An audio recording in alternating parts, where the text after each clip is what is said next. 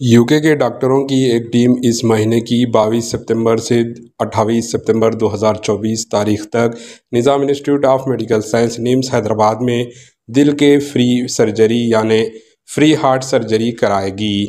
दिल में सुराख हो या और दिल के दीगर मसाइल में मुबतला अफराद के लिए तबी खदमात का एक मौका फ़रहम किया जा रहा है, इससे फ़ायदा उठा सकते हैं।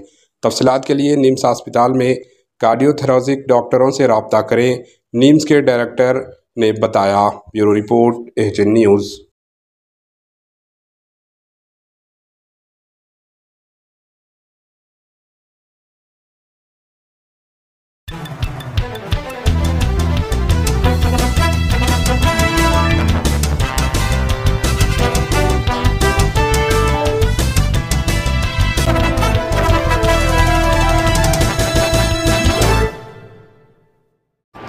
H news को लाइक करें शेयर करें और सब्सक्राइब करना ना भूलें।